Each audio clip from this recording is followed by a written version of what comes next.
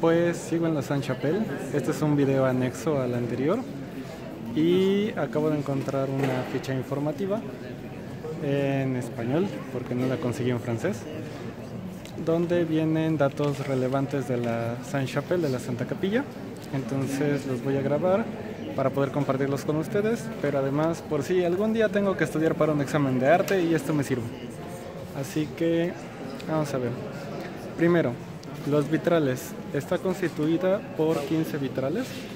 Son las vidrieras que están ahí. Todo, toda una sección, es decir, toda la... Suponiendo que tenemos esta. Esta, o sea, toda, toda la sección. Esto es considerado un solo vitral. Exactamente. Está constituido por 15 vitrales. Y ¿Cómo se, ¿Cómo se hacen estos vitrales? ¿Cuál, ¿Cuál, es lo interesante de estos, de estos vitrales? Muy bien. Pues primero, la primera etapa es que con cartones se crea el diseño. Son datos, diseños técnicos preparatorios al tamaño real y en ellos se precisan todos los detalles, escena por escena, de qué es lo que va a llevar el, el vitral. Y Después, para colorear el vidrio, si se fijan, todos los, vitrales están coloreados, son vidrios de color. Entonces, ¿cómo se, ¿cómo se hace el vidrio?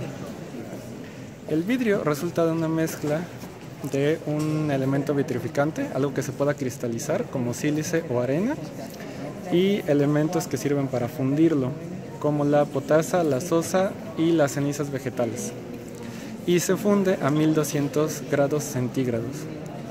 Ahora, para colorear el vidrio, para darle esos colores característicos, se le añaden óxidos metálicos, cobalto para el azul, cobre para el rojo y el verde, manganeso para el violeta y antimonio para el amarillo.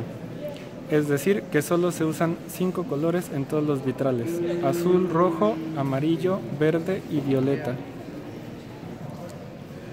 Una vez que los vitrales son coloreados, en realidad el cristal se colorea, se colorea cuando todavía está fundido, o sea, se colorea la masa del cristal y después se, hacen las, las, láminas para hacer los vidrios planos.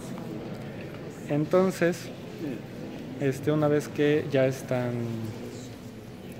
una vez que ya están coloreados, los vidrios se cortan con la forma de los cartones de los moldes. Y estos vidrios coloreados y recortados se pintaban con grisalla. Quizás ahí no se ve mucho, pero todo lo que son los rostros o los detalles son pintados con grisalla. ¿Qué es la grisalla? Era una mezcla de polvo de vidrio y óxido de hierro, diluida en agua y vinagre, que se depositaba sobre el vidrio coloreado con pincel. Entonces con esta grisalla se dibujaban todos los rostros o todos los detalles que iba a llevar encima el vidrio y luego se volvía a cocer por segunda vez a 600 grados centígrados. Y después los, los diferentes vitrales, de hecho los, las escenas, si se fijan, son escenas pequeñas, no son tan grandes y son varias secciones unidas por envergaduras de hierro. Y entonces el hierro es lo que permite al vitral sostenerse y darle estructura. Entonces los vitrales se ensamblan y montan para formar las vidrieras mediante vergas, yo le voy a llamar vigas porque soy, suena feo, y travesaños. Los travesaños son horizontales y las vigas son las verticales y son las que sostienen este, toda la estructura. Ok, y ahora las cifras sobre la Saint Chapelle, sobre la Santa Capilla. Mide 33 metros de longitud, es decir, de la entrada, que es donde estamos ahorita, hasta la parte del fondo del altar, mide 33 metros. De ancho, mide 10.5 metros de un extremo al otro y de altura tiene 20.5 metros. Las vidrieras datan del siglo XIII fueron hechas de 1242 a 1248 y cubren en total una superficie de 640 metros cuadrados. wow, 640 metros de puros vitrales. Y el 70% de ellos son originales. Cada vidriera en la nave, la nave se le considera el cuerpo principal del edificio, que sería donde estamos parados. Estas son las que corresponden a la nave. Esas vidrieras en la nave miden 15.5 metros de alto. Y en el ábside, el ábside es la parte de atrás, que es esta, donde se encuentra el rosetón. Aquí miden 13.5 metros de alto. Y en todas las vidrieras, en todos los, los vitrales que se encuentran alrededor, se relatan 1113 escenas bíblicas. O sea, son 1113 escenas, cuadro por cuadro, en vidrio, que relatan la historia de la Biblia. Eh, el rosetón, que es este de aquí arriba, mide 9 metros de diámetro y data del siglo XV. Ah, entonces probablemente me equivoqué y el ábside no sea el rosetón. Corríjanme en los comentarios porque la verdad no sé lo que es el ábside, entonces corríjanme que, para informarme bien qué es y no regarlo. Y las vidrieras están numeradas del 1 al 15.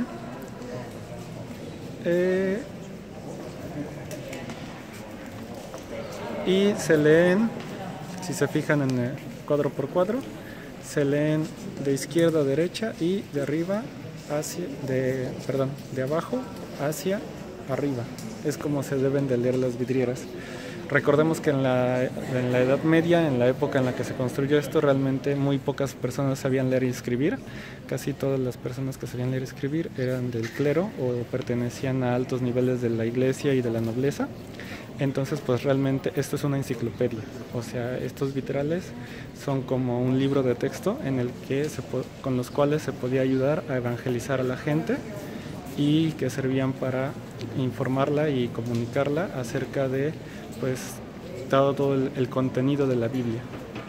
Porque las personas realmente no tenían acceso a los libros, no tenían acceso a la información, los libros estaban escritos a mano, entonces tener un libro era como haber comprado una casa, o sea, realmente era muy limitado el acceso a la información y a través de estas vidrieras, a través de estos mosaicos, es como se evangelizaba y como se educaba a la gente analfabeta.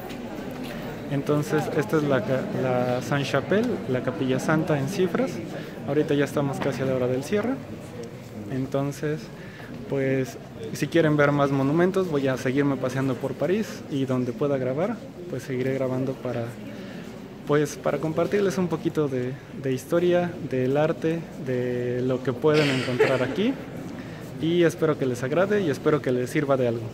Entonces, un gusto a todos, suscríbanse al canal, denle like al video y compártanlo si creen que es útil y pónganme en los comentarios lo que dije bien y en, los datos que me haya equivocado, corríjanme por favor para que estén, estén en lo correcto. Entonces, muchas gracias mundo, cuídense, nos vemos.